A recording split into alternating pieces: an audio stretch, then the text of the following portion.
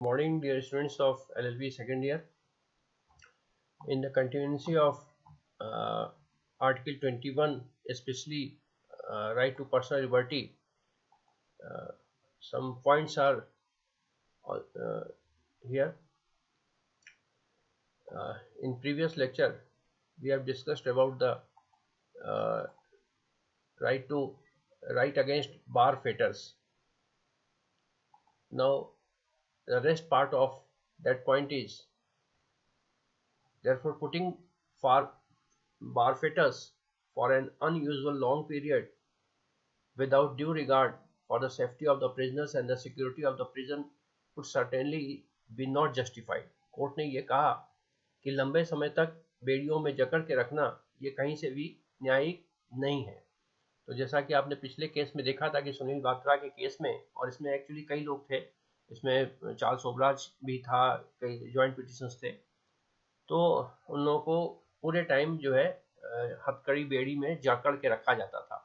जैसा आपने अगर याद होगा, बहुत पहले कोई एक फ़िल्म आई थी, अमिताभ बच्चन की कालिया, उसमें देखा था कि ऊपर से नीचे तक गले में एक रिंग होता था और उसके बाद लोहे के जंजीरें होती थी और पैर में और हाथ में वो सब बंधे हो जाते थे। तो उस तरह की स्थिति हुआ करती थी।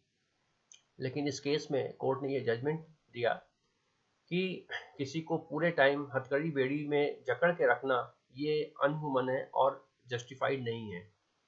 तो इसके बाद से इस चीज़ में परिवर्तन आया और ये चार्ल्स सोबराज का भी यहाँ पे केस है। तो सुनील बात्रा चार्ल्स सोबराज ये सब शिवकांत शुक्ला वगैरह के जो केसेस हैं वो सब के सब जुडिशल इसी क्रिमिनल रिफॉर्म पर है। In writ petition, the fact was fact were that Charles Obraj, a French national, was arrested on 6 July 1976 and was detained under Section 3 of the Maintenance of Internal Security Act 1971.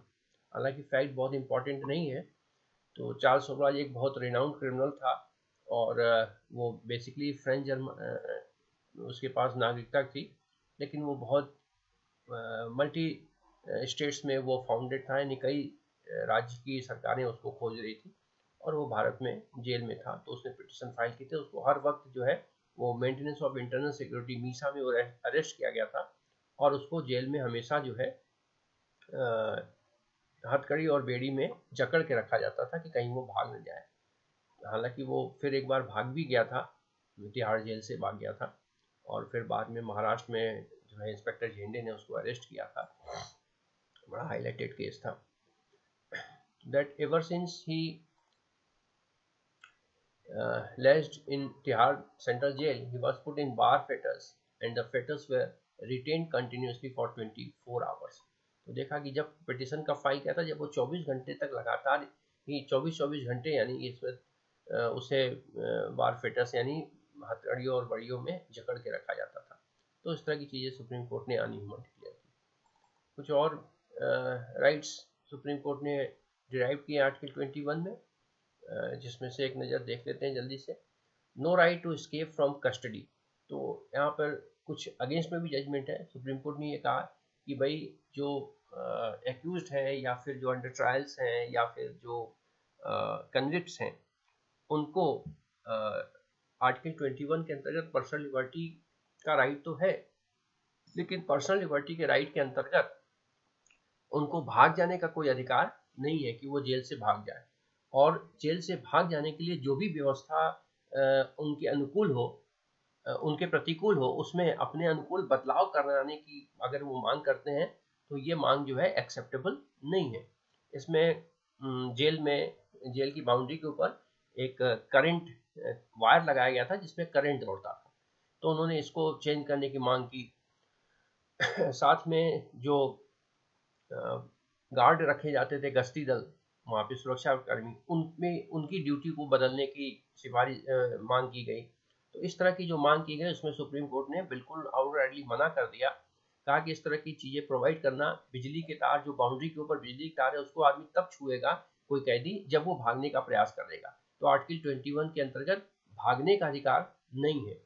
तो ये इस तरह के judgement जो है why whether be the nature of nature and extent of prisoners fundamental right to life and personal liberty under article 21 but they do not not have not have fundamental freedom to escape from lawful custody तो ये है कि विधिपूर्ण संरक्षा या विधिपूर्ण गिरफ्तारी जो उसकी है उससे भाग जाने का कोई अधिकार नहीं मिलता है इसलिए इस तरह के केसेस को इस तरह के पिटिशन को सुप्रीम कोर्ट ने रिजेक्ट कर दिया और इस तरह का एक पिटिशन फ़ाइल कब हुआ था DBM Patnaik versus state of Andhra Pradesh के केस में फ़ाइल किया गया था, जिसको सुप्रीम कोर्ट ने रिजेक्ट कर दिया। और इसके नेक्स्ट स्लाइड में इसके फैक्ट्स हैं थोड़ा सा कि contention of petition against measure adopted by the jail authorities to prevent the escape of the prisoners and held that they had no fundamental freedom to escape ठीक है? तो a convict had no right ये supreme court का जो verdict था, वो है a convict had no right more than anyone else had यानी अन्य के पास जो अधिकार है उससे ज़्यादा अधिकार कैदियों के पास नहीं है to dedicate whether guards ought to be posted or prevent the escape of prisoners कि कौन से गार्ड वहाँ लगाए जाए और कौन से गार्ड नहीं लगाए जाए उनकी सुरक्षा में installation of live wire mechanism installed on top of the jail was did not offend uh, the freedom. तो जेल के बाउंड्री के ऊपर uh, नंगी तारे लगवाना जिसमें करंट हो, ये कहीं से भी एक कैदी के जो स्वतंत्रता है, उसको ऑफेंड नहीं करता, उसको उसका उल्लंघन नहीं करता है। ये सुप्रीम कोर्ट के वर्डिक थे। इसी तरह से एक पांडुरंगा का केस था, जिसमें right to write a book यानी जेल के अंदर किताब लिखने की जो अधिकार है, उसको अधिकार के रूप में फंडामेंटल राइट के रूप में दिया गया। इसकी चर्चा मैंने कल की थी। देख रहे हैं जैसा कि स्लाइड में कि state of Maharashtra versus Pandurang के केस में जो पिटिशनर था, उसको अरेस्ट करके और जेल में रखा गया था। ठीक है? प्रिवेंटिव प्रिवेंटिव डिटेंशन एक्ट 1950 के अंतर्गत। और उसने जेल में रहते हुए उसने एक जो है साइंस के ऊपर एक किताब लिखी। और उसकी इच्छा ये थी कि सरकार उसको परमिशन दे कि वो उसको पब्लिश करा सके और इस उद्देश्य से उसने जो है वो अपनी मैन्यूस्क्रिप्ट अपनी वाइफ को भेजा कि इसको परमिशन लेके और इसको पब्लिश कराना है। लेकिन क्या हुआ कि स्टार्टिंग में गवर्नमेंट ने रिफ्यूज कर दिया उसको ठीक है? Government refuse permission the court held that फिर मामला कोर्ट में गया और कोर्ट ने क्या निर्धारित किया? Court held that refusal as an infringement of personal liberty as the restrictions was not, not authorized under the preventive detention act 1950 तो कोर्ट ने इस प्रिवेंटिव डिटेंशन एक्ट जिस एक्ट के अंतर्गत उसको अरेस्ट किया गया, उसको एग्जामिन किया। उसने कहा कि इसमें इस तरह की कोई बंदिश नहीं है कि कोई कैदी किताब नहीं लिख सकता। तो अगर वो किताब लिखता है तो उसके आर्टिकल 21 के राइट तो है ही। उसके अंतर्गत वो किताब लिखने का, उसके पब्लिश करने का राइट प्रोटेक्टेड है। The court laid down that the right to personal liberty under article 21 include the right to write a book and get it published ठीक है ना? तो आर्टिकल 21 के अंतर्गत सुप्रीम कोर्ट ने कहा कि जो पर्सनल लिबर्टी है, उसमें किताब लिखने और उसको पब्लिश कराने का जो अधिकार है, वो अधिकार सुरक्षित है। तो इसी तरह से एक राइट और सुप्रीम कोर्ट ने कंफर्म किया राइट अगेंस्ट सॉलिटरी कन्फाइनमेंट इसकी चर्चा भी मैंने कल वाले लेक्चर में की थी, कि कुछ जो बहुत खतरनाक अपराधी होते थे, जिनके ऊपर कई कई केसेस चलते थे, उसको जेल में बिल्कुल एकांतवास में रखा जाता था। चौबीस चौबीस घंटे उसको बेड़ियों में जकड़ कर और एकांतवास में और केवल खाना देने के लिए उसकी कोठरी में, वो भी दरवाजे के नीचे से थाली सरका दी जाती थी। तो इस तरह की स्थितियाँ पहले कभी थी, जैसे अंग्रेज़ों के ज़माने में हुआ करती थी। तो इस पे सुनील बात्रावत से दिल्ली एडमिनिस्ट्रेशन का एक केस फ़ाइल किया पिटिशन की ओर से। तो सुनील बात्रावाज सुनील बात्रा जो कि बेसिकली कैदी था, ठीक है ना was sentence to death by Delhi session court Delhi session न्यायालय के द्वारा सुनील बात्रा को कैपिटल पनिशमेंट सुनाया गया। And his appeal against the decision was pending before the high court लेकिन उसने जो है अपील लगाई हाई कोर्ट में और जो कि पेंडिंग था। He was detain in Tihar jail during the pendency of appeal तो चूँकि सेशन कोर्ट ने उसको कैपिटल पनिशमेंट सुना दी थी लेकिन अपील अगर उसने हाई कोर्ट ने अपील एक्सेप्ट कर ली तो उस दौरान कैपिटल पनिशमेंट जो है सस्पेंड रहता है जब तक कि हाई कोर्ट का फैसला ना आ जाए। तो यही स्थिति इसके केस में भी थी। हाई कोर्ट में पेंडिंग था और उसकी जो कैपिटल पनिशमेंट था वो सस्पेंड था लेकिन वो जेल में था पेंडेंसी के दौरान। तो यहाँ पर आ, क्या हुआ कि उसने अपनी जो कन्विक्शन है, उसको कंप्लेन किया। He complain that since the date of his conviction by supreme court he was case solitary confinement उसने कहा कि भाई, जब से सेशन कोर्ट ने हमें कैपिटल पनिशमेंट का सजा सुनाया है, तब से हमें एकांतवास में रखा जाता है। बत्रा कंटेंटेड बत्रा ने ये ऑब्जेक्शन रेज किया कि the section 30 of the prison act 19 1894 did not authorize the jail authority to impose the punishment of solitary confinement solitary confinement. ने कहा कि जो जिस एक्ट प्रिजन एक्ट से ये पूरा जेल गवर्न होता है, और प्रिजन एक्ट के सेक्शन एक्ट के सेक्शन 30 जो है, वो जेल अथॉरिटी को ये कोई अधिकार नहीं देता कि वो सॉलिटरी कन्फाइनमेंट उसको दे, क्योंकि ये इटसेल्फ आईपीसी के अंतर्गत एक अपराध है। आईपीसी के सेक्शन 73 74 के अंतर्गत जो ये सब्सिडी पनिशमेंट के अंतर्गत आता है तो जिस अपराध जिस सेक्शन के अंतर्गत उसका कोई अपराध कोर्ट ने सुनाया नहीं एक्सेप्ट नहीं किया या उसमें सजा नहीं सुनाई, उस सजा को जेल अथॉरिटीज बिना किसी परमिशन के कैसे दे सकते हैं? तो कोर्ट जो है वो इसके आर्गुमेंट से कन्विंस हुई और बाद में कोर्ट ने ये कहा कि that it could not be left to the whim and capable capacity of the person authority उसने कहा कि भाई जो अधिकार प्रिजन अथॉरिटीज को नहीं मिले हुए वो उन अधिकारों का उपयोग नहीं कर सकती यानी ये चीज़ें मनमाना नहीं हो सकता। The supreme court accepted the argument of petitioners and held that imposition of solitary confinement on the petitioner petitioner was uh, violative of article 21 तो इस तरह से बिना किसी uh, आदेश के जेल प्राधिकारियों के द्वारा किसी कैदी को सॉलिटरी uh, कन्फाइनमेंट या एकांतवास में रखा जाना आर्टिकल 21 का वायलेशन है। uh, एक राइट और देख लेते हैं। Right against inhuman treatment यानी गैर मानवीय व्यवहार अगर किसी से किया जाता है तो ये भी अपने आप में आर्टिकल 21 का वायलेशन है। क्या मामला था इसमें? The incident of torture assault injury and death in police custody the worst form of human right violation.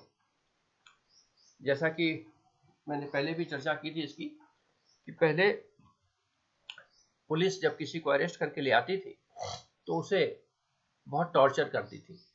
यानी पुलिस को उस केस के मामले में छानबीन करनी होती थी तो पुलिस बजाय खुद मेहनत करने के किसी व्यक्ति से सब कुछ उगलवा लेना चाहती थी कि वो स्वयं का अपराध स्वीकार कर ले तो उसके लिए बहुत उसे टॉर्चर किया जाता था, उसको गाली वाली भी दी जाती थी।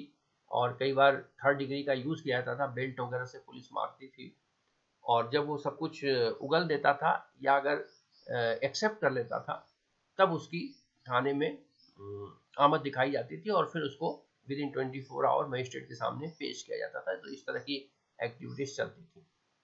तो Kishore Singh versus state of Rajasthan A I nineteen में ये मामला सुप्रीम कोर्ट के सामने आया और court held that use of third degree method by police was violative of article 21 तो कोर्ट ने ये कहा कि भाई पुलिस के द्वारा आर्टिकल थर्ड डिग्री का यूज़ करना, ये आर्टिकल 21 का वायलेशन है। Imposing solitary confinement for a long period from eight to eleven hour यानी आठ से ग्यारह घंटे तक लगभग एक व्यक्ति को एक कमरे में अकेले बंद कर देना और putting bar fetters on the prisoners in jail या किसी प्रिजनर्स को, कैदी को हथकड़ी और बेड़ियों में जकड़ के रखना on flimsy ground like loitering in the person prison behaving insolently and in uncivilised manner कि वो जो है सामान्य तरह से व्यवहार नहीं करता है या लोगों से खराब बिहेव करता है। इस तरह की छोटे छोटे मामलों में उसको बेड़ियों से जकड़ देना, टीयरिंग ऑफ़िस हिस्ट्री टिकट कि वो उसने अपने हिस्ट्री टिकट को, यानी जो एक हिस्ट्री होती कैदी की, वो हिस्ट्री टिकट को फाड़ दिया। तो इस तरह की छोटी छोटी हरकतों के कारण अगर किसी को जेल में एकांतवास और हथकड़ी बेड़ी से जकड़ कर रखा जाए तो इस पर जो है कोर्ट ने कहा कि court must regard it as barbarous and against human dignity. उन्होंने कहा कि बहुत ही क्रूर और मानव गरिमा के अगेंस्ट बिहेवियर है। And hence violative of article 14, 19 and 21 उसने कहा कि ये अनुच्छेद 14, 19 और 21 के अंतर्गत ये उसका उल्लंघन करता है। Right against custodial violence custodian violence का आपने खूब चर्चा सुना होगा। कस्टोडियन वायलेंस क्या होता है? जब पुलिस किसी व्यक्ति को पकड़ के लाती है चाहे उसका उसके बारे में एफआईआर हो या मात्र संदेह ही हो तो पुलिस उसको थाने में ले आती है। और उसके बाद उसको बंद कर देती है। बंद करने के बाद काफ़ी टॉर्चर करती है। और उससे जो है, अगर कोई केस दर्ज है तो उसके बारे में मालूम हासिल करना चाहती है या पुलिस उस पर दबाव बनाती है कई बार कि वो अपराध को स्वीकार कर ले। तो ऐसे कंडीशन में पुलिस के द्वारा टॉर्चर किया जाता है थर्ड डिग्री का यूज़ किया जाता है और कई बार ऐसा होता है कि वो व्यक्ति उन चीज़ों को सह नहीं पाता और उसकी डेथ हो जाती है। तो ऐसे कंडीशन में जो पुलिस कस्टडी के अंदर डेथ होती है, उसे कस्टोडियल डेथ कहा जाता है तो Sheela Barse versus state of Maharashtra के मामले में कोर्ट ने इस पर सुनवाई की torture in Sheela versus versus state of Maharashtra the supreme court condemned violence committed on women prisoners confined in the police lockup in the city of Bombay. तो बम्बई के एक पुलिस थाने में एक महिला को शीला वारसे नाम की एक महिला को एक कमी, उसको पुलिस डिटेन की और उसके बाद उसके साथ हिंसात्मक कार्रवाई की गई और इस तरह की कार्रवाई के बाद ये केस सामने आया। Letter in D K Basu versus state of West Bengal the supreme court held that torture by police struck a blow at the rule of law फिर डी के वासु के केस में वापस सुप्रीम कोर्ट ने ये कहा कि ये जो है रूल ऑफ़ लॉ का वायलेशन भी है। रूल ऑफ़ लॉ का वायलेशन क्यों है? क्योंकि rule of violation rule of law ये कहता है कि जो लेजिस्लेशन लेजिस्लेशन है एग्जीक्यूटिव है जुडिशरी है, ये तीनों अलग अलग पुलिस का काम केवल एविडेंसेस कलेक्ट करना है। तो अगर पुलिस किसी कैदी को मारना पीटना शुरू कर दे तो ये तो एक तरह का पनिशमेंट है और पनिशमेंट देने का काम जुडिशरी का है। तो बिना जुडिशरी के कंफर्म किए कोई पुलिस किस तरह से किसी व्यक्ति से मारपीट कर सकती है उसको एक तरह से सजा दे सकती है।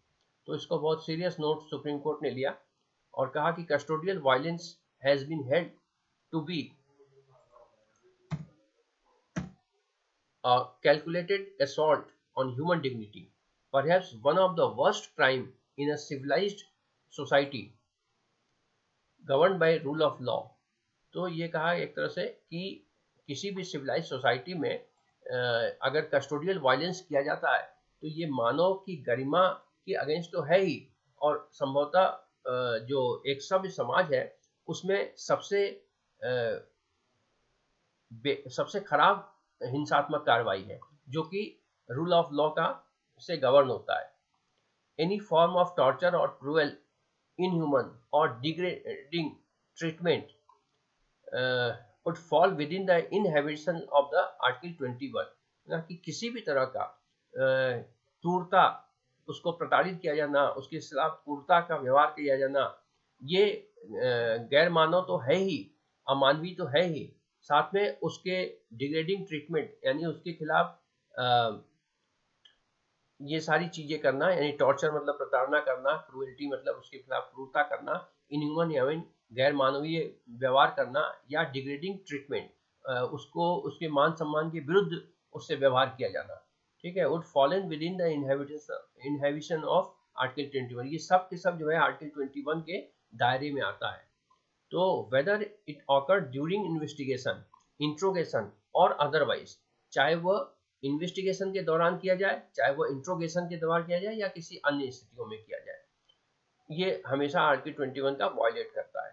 Considering the importance of issue the court laid down certain basic requirement to be followed in all cases of arrest और detention till legal provision made in that behalf as a measure of preventive custodial violence तो इसमें supreme court ने कुछ guidelines issue किए जिसको कि हमेशा पालना करना आवश्यक है और इसके बाद काफ़ी चेंजेस भी यहाँ पर आए हैं। तो चूँकि मैं इसमें अभी आपको कॉन्स्टिट्यूशनल प्रोविजंस बता रहा हूँ तो इसलिए अगर आप जब भी प्रैक्टिस करने जाएँगे तो इन सब केसेस की स्टडी आपके लिए बहुत इंपॉर्टेंट है। और पहले भी मैंने कहा था कि इसमें बहुत ज़्यादा, सौ से ज़्यादा केसेस हैं, लेकिन उतनी केसेस की चर्चा हम नहीं कर सकते। तो इसलिए मैंने बीस बाईस केसेस जो बहुत इंपॉर्टेंट है, उसकी, उसको केवल, उसके स्लाइड्स बनाए हैं और केवल उसकी हम चर्चा कर रहे हैं। एक है फेक एनकाउंटर्स एनकाउंटर्स आपने खूब सुना होगा फेक एनकाउंटर्स भी सुना होगा।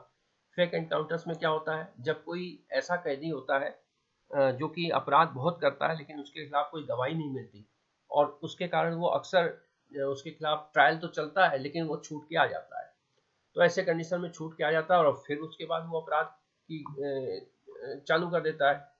अब जब इस तरह के हार्डकोर क्रिमिनल हो जाते हैं, जिनके खिलाफ कोई गवाही भी देना नहीं चाहता तो ऐसे कंडीशन में प्रशासन की मजबूरी हो जाती है कि उसको, उसका इनकाउंटर कर दे।